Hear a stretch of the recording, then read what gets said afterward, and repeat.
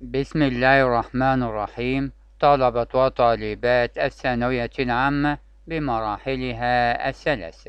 السلام عليكم ورحمة الله وبركاته. اليوم موعدنا مع حل قطعة جديدة من قطع الثانوية العامة. فلنبدأ. Man's life has been subject to a lot of change.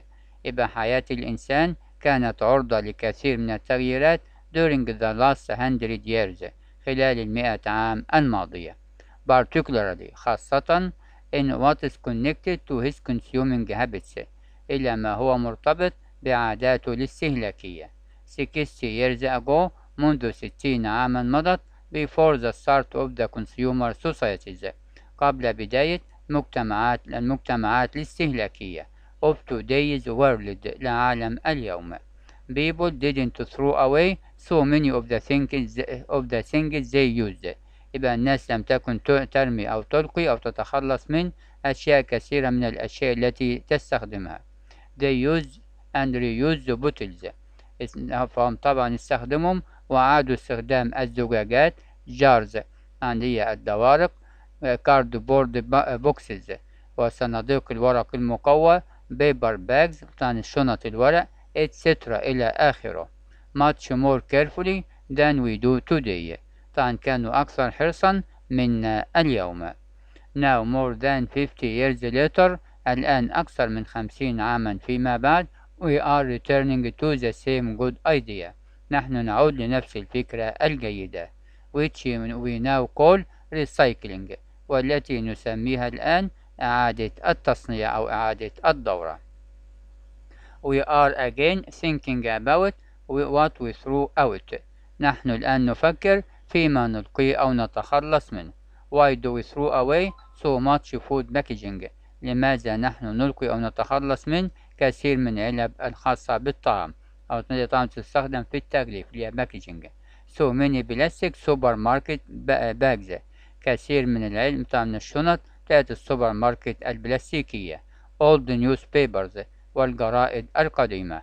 Old books والكتب القديمة bottles والدجاجات and cans والعلب What is all this, all this rubbish doing to our environment ماذا تفعل كل هذه القمامة في البيئة الخاصة بنا to the world we live in للعالم الذي نعيش فيه can't we use some of it again ألا نستطيع أن نستخدم بعضها مرة أخرى the answer is yes الإجابة هي نعم we can نحن نستطيع new industries الصناعات الجديدة recycling industries للصناعات إعادة التدوير are starting to reuse some of our rubbish بدأت في إعادة استخدام بعض القمامة الخاصة بنا for example على سبيل المثال the island of Taiwan جزيرة تايوان now buy, buys tons of waste paper from the USA بتشتري أطنان من ورق المخلفات من الولايات المتحدة الأمريكية.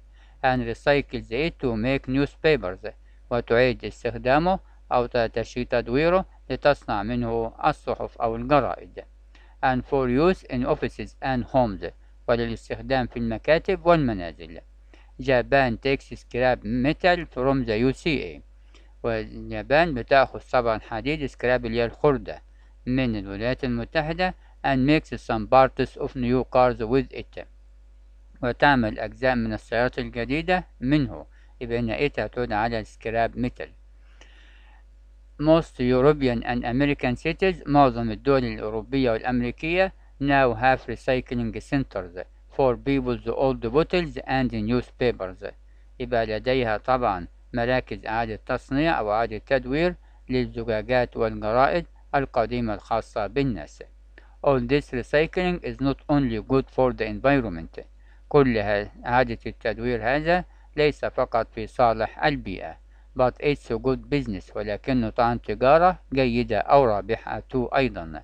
يبقى طعن recycling يبقى جيد لل environment وال business for instance على سبيل المثال recycling aluminum container يبقى الحاوية بتاعت الألمنيوم المعاد تدويرها is 20% cheaper to make than a new one. بتكون 20% أرخص من صناعتها من أنت تصنع واحدة جديدة.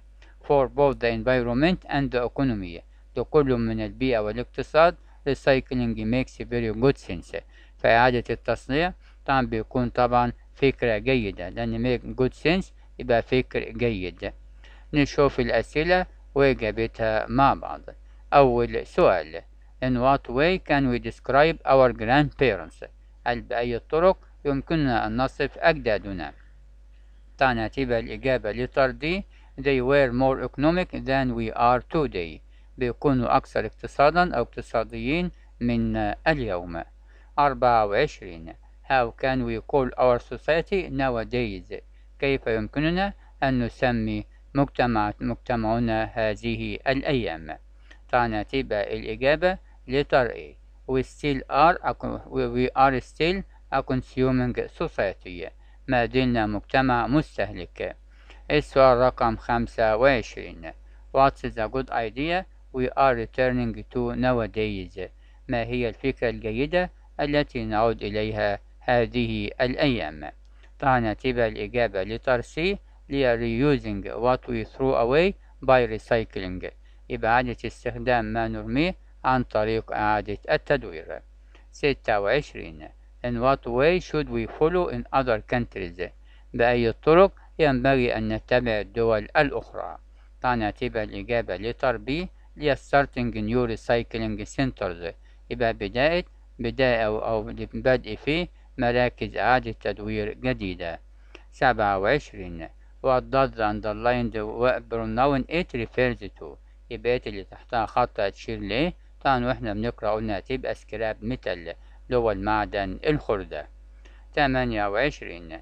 For what is recycling useful or good? يبقى لأي شيء بيكون إعادة التدوير مفيد أو جيد. طبعا تبقى الإجابة letter A. Environment and business. يبقى للبيئة وللعمل أو التجارة. تسعة وعشرين. تايوان recycles tons of waste paper from the UCA to make بقى تايوان بتعيد تدوير أطنان من الورق المخلفات من الولايات المتحدة لصناعة طبعا حسب القطعة تبقى نيوز بيبرز بقى الجرائد تلاتين The word scrap can be defined as. يبقى كلمة scrap قلنا معناها خردة ممكن أن تعرف ك. طبعا تبقى الإجابة لتر بي هي materials or objects that are no longer used for the purpose they were made for. يبقى مواد خام أو أشياء والتي لم تعد تستخدم من الغرض تستخدم في الغرض الذي من أجله قد صنعت. But can be used again in another way. ولكن يمكن استخدامها بطريقة أخرى. شكرا لحضراتكم. والسلام عليكم ورحمة الله وبركاته.